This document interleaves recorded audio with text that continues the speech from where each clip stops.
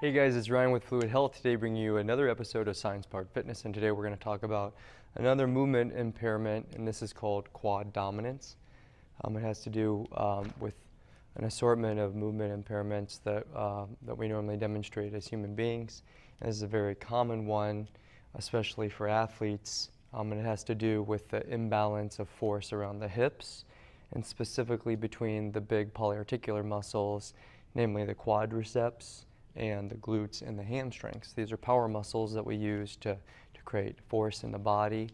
Um, and oftentimes because we, we don't have appropriate balance from our intrinsic stabilization systems like our core canister, we have a tendency to have weak abdominals.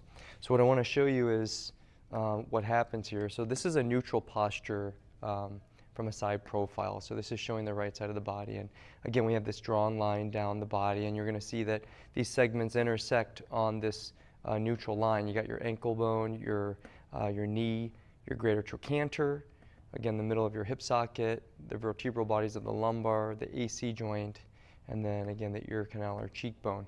That all stacks vertically. Now again, if the balance of tension between the abdominals and the glutes and hamstrings are sufficient, you can see these arrows. You can see there's an upward pulling on the pelvis from the front side and a downward pulling on the pelvis on the back side. And those are uh, facilitated through the abdominals and specifically the transverse abdominis, the deeper unit muscle, and then the glutes on the back side. So both of those muscles have a, a posterior inferior force on the hips and it helps to keep your body upright when you're moving. Again, oftentimes we don't have sufficient abdominal control, so it doesn't support the glute and the hamstring and they're left to do all the work and that makes them again biased towards stability but underdeveloped and underutilized um, and so the body has a tendency to defer to the quad to produce power when you're running or doing athletic activities. So we end up with these muscle groupings that tilt the hips downward and so quad dominance is typically associated with lordotic posture or what's called lower cross. And it basically means that the back extensors and the quadriceps become adaptively shortened as the glutes and hamstrings and obliques don't properly support the downward slope of the pelvis. So we need to work on increasing the strength of these muscles and then reducing the dominance of the quads and the back extensors to resolve it. So again, this is just one particular issue of many, but it is very common and it is something that's very correctable.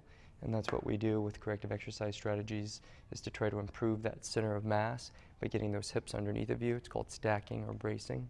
And again, one of the issues is going to have to be the, the quad dominance being resolved in order to restore that, uh, that relationship. So questions on this, guys, remember, reach out, admin at fluidhealthandfitness.com or post your comments uh, underneath this video, and we'll make sure to get back with you. Again, your body's designed to move, stay in motion. We'll see you soon.